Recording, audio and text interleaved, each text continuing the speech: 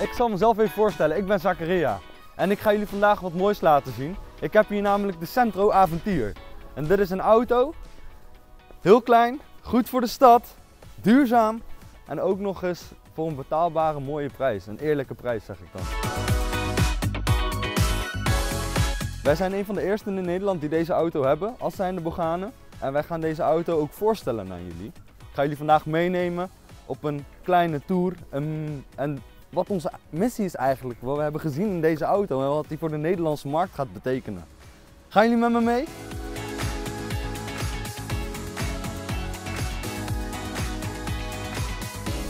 Zoals je ook ziet, is de auto voorzien van LED dagrijverlichting.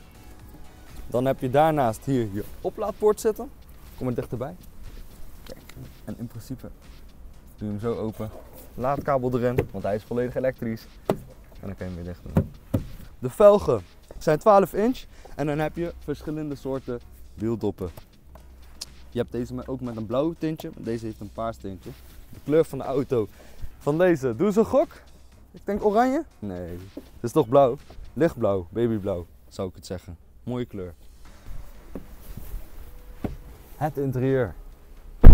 Nou, gelijk word je eigenlijk al verwelkomd door best wel wat verschillende soorten materialen. Je hebt zacht kunststof, je hebt hard kunststof, dan heb je stoffen deurpanelen.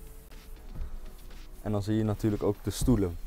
Verder over de stoelen. Nou, ik ben 1,97 meter en ik zit best wel goed, best wel comfortabel. Mijn rug valt ook in de stoel, dus dat zit ook goed. Je hebt hier ook die zijkanten, die komen iets naar buiten. Zodat, dan, zodat je een fijne positie hebt in de auto, dus een fijne zitpositie. Dan heb ik vervolgens het stuur, fijn stuur, niet al te groot.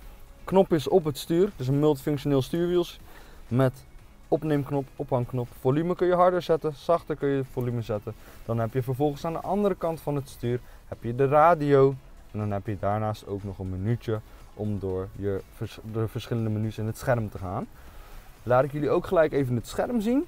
Nou, dan zie je hier inderdaad het verbruik in kilowatt dus die op dat moment geldig is. Zie je hier de snelheid, kilometer per uur.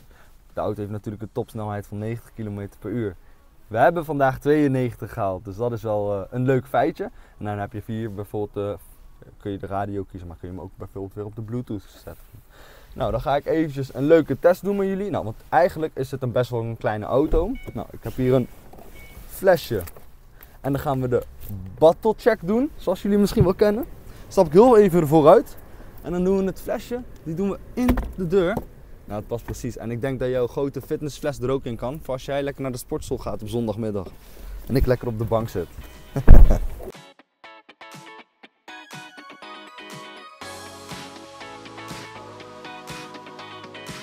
Neem ik jullie mee naar de achterkant. Ik zal jullie laten zien wat hier de Centro ook kan. Je kan met je sleutel aankomen lopen. Hou je het knopje ingedrukt, gaat de koffer, kofferruimte open. En zoals je ziet, is die best wel groot. Je zou het niet verwachten als je van de buitenkant kijkt. Er zitten natuurlijk je laadkabels zitten erin. En dan kan je natuurlijk van alles en nog wat kun je erin kwijt. Ik heb laatst zelfs geprobeerd met twee collega's en die pasten er allebei in. Twee volwassen mannen. Dus eh, qua ruimte kom je eigenlijk ook niks tekort voor hetgene wat je dagelijks nodig hebt. Los daarvan zit hier aan de achterkant natuurlijk ook je parkeersensoren. En je achteruitrijcamera. Die zit daar ook. En die zie je natuurlijk terug in het digitale instrumentenpaneel. Ideaal.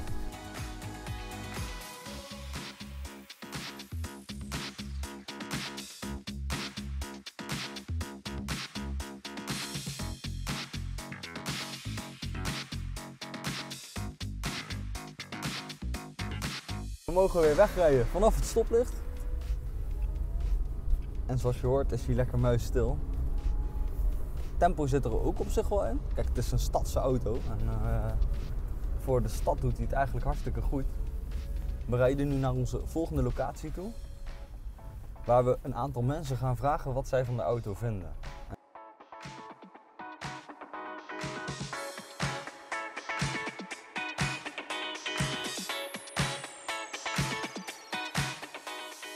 Nou, daar staan we dan.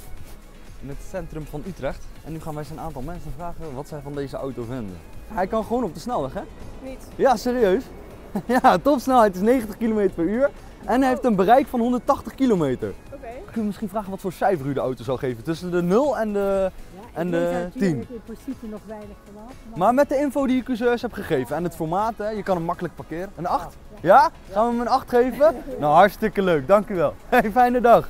Dus wat zou je zeggen qua cijfer? Ja, een 7 of zo? Een 7? Nou, dat vind ik best wel netjes eigenlijk.